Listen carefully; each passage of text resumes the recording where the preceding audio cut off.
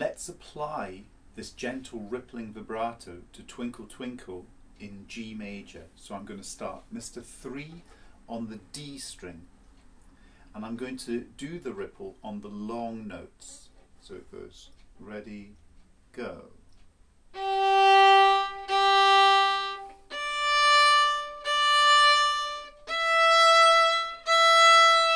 Here.